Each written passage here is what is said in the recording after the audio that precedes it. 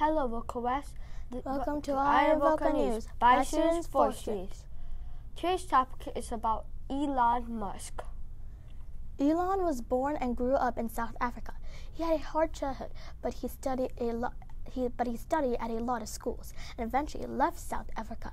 In the end, he went to a Stanford to get a PhD. But now let's talk about his more recent stuff. His first major success was when he merged into the company that owns PayPal. If you don't know what PayPal is, it it is an online sort of wallet for sending and receiving money fast over the internet. Around the same time Elon started the company SpaceX, his first statement was he would start a greenhouse on Mars called Mars Oasis. Elon went to a meeting in Russia where he went to buy three missiles to carry supplies into Mars, but no one would sell to him, so he went home. But he did not give up. He went back to buy one rocket, but the the asking price was eight million dollars. I don't mean that the an entire ship, just one of the engines. Elon thought that the Russians' rocket rockets were so overpriced that he walked out of the meeting and got a plane back to the U.S. On the plane, he had an idea. He could find his own parts and build his own rocket.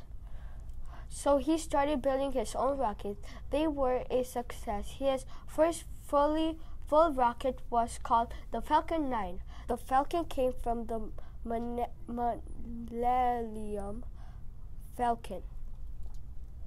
The price just for the ship, if Elon did not build it, buying price $61 million. But since Elon built it, the price with the fuel was only $37 million. That is not a lot for a functioning rocket. Here is a video of the launch. four, three, two, one, zero. Liftoff of the Falcon 9.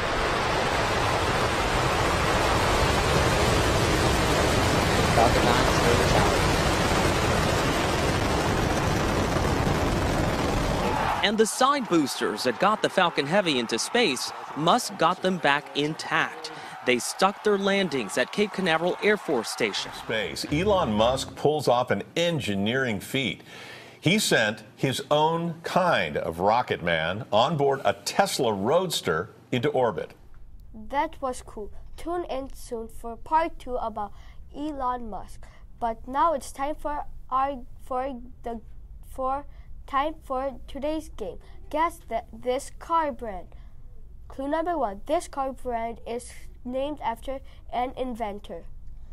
Clue number two this car brand is electric. Clue number three: This car brand logo is a T. If you guessed Tesla, then you are correct.